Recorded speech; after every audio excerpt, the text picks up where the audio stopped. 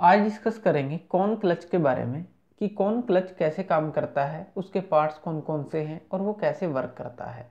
तो कौन क्लच की जो वर्किंग है, उसके पार्ट्स के बारे में आज हम देखेंगे। तो कौन क्लच जो इसको नाम दिया गया है, वो क्यों दिया गया है?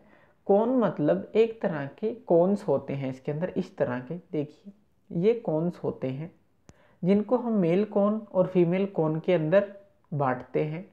तो कौनस हम यूज़ करते हैं? एक फ्लैट नहीं होते, एक कौन पे होते हैं ये? तो इसको कौन क्लच बोला जाता है? और क्लच क्या होता है? अंगेज और डिसंगेज करने का काम करता है। किस चीज़ को? अंगेज और डिसंगेज करता है ड्राइविंग शाफ्ट को, ड्रीवन शाफ्ट से। तो ड्राइविंग शाफ्ट को ड्रीवन शाफ्ट से अंगेज और डिसंगेज करने का काम करता है। मींस इंजन की पावर को गियर बॉक्स से जोड़ने का और हटाने का काम करता है। तो कौन क्लच के कौन कौन से पार्ट्स हैं वो देखते हैं। तो इसके अंदर जो मेन पार्ट्स हैं वो होते हैं हमारे दो पार्ट्स जिसको हम फीमेल और मेल मेंबर के अंदर डिवाइड करते हैं। तो ये जो पार्ट है, ये है पार्ट फीमेल मेंबर इसको हम बोलते हैं फीमेल मेंबर ऑफ़ कौन क्लच ये फीमेल फीमेल मेंबर है और ये है मेल मेंबर तो जो ये मेल मेंबर है, इसके ऊपर फ्रिक्शन लाइनिंग होती है फ्रिक्शन लाइनिंग ये जो फ्रिक्शन लाइनिंग है, ये हमारी काफ़ी चीज़ों से हम बना सकते हैं अकॉर्डिंग टू रिक्वायरमेंट वुड की बना सकते हैं लेदर की बना सकते हैं, लेकिन मेनली हम इसको बनाते हैं एसबेस्टोस से। तो एसबेस्टोस का यूज़ किया जाता है इस फ्रिक्शन लाइन को बनाने के लिए। अब जो ये फीमेल मेंबर है, ये हमारा कनेक्ट होता है इंजन की शाफ्ट के साथ। इंजन की जो शाफ्ट की पावर है, उसके साथ कनेक्ट होता है। ये जो फीमेल मेंबर है, ये फ्लाई व्हील के साथ कनेक्ट होता है। फ्लाई व्हील करेक्ट शाफ्ट के साथ कनेक्ट होती है। कहने का क्या मतलब है कि जो इंजन की पावर आएगी, वो यहाँ पे फीमेल मेंबर को मिलेगी। तो फीमेल मेंबर उससे, उसे लेके रोटेट करता है। तो फीमेल मेंबर रोटेट करता है। तो इसके अंदर क्या है? फीमेल मेंबर और जो ये मेल मेंबर है, जब तक ये कनेक्ट नहीं होंगे, यहाँ पे हमारा होता है गियर बॉक्स जो, जिसके ऊपर हमें पावर ट्रांसमिशन करनी है। तो गियर बॉक्स यहाँ पे है और इंजन जो हमारी पावर है, वो यहाँ से आएगी। तो इंजन से, जो इंजन की पावर है, वो हमें गियर बॉक्स तक ट्रांसमिट करनी है। तो ये कब होगी? ये रोटेट करता रहेगा। लेकिन अगर जब तक मेल मेंबर इसके साथ कनेक्ट नहीं होगा, तब तक ये पावर इंजन की पावर गियर बॉक्स तक नहीं जाएगी।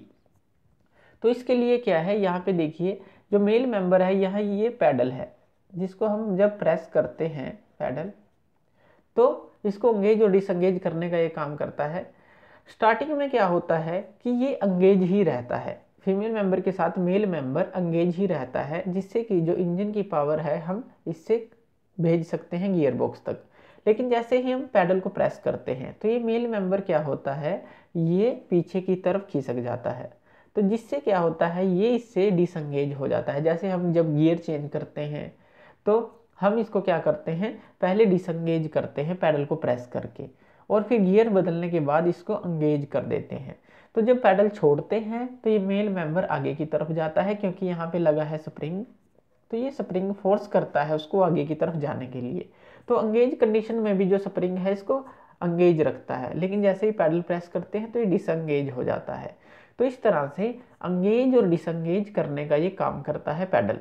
तो जैसे ही पैडल दबाते हैं, डिसंगेज होता है। पैडल को छोड़ते हैं, दोबारा से अंगेज हो जाता है। और ये मूव करता है स्प्लाइंस के ऊपर। इसके अंदर स्प्लाइंस कटी होती हैं।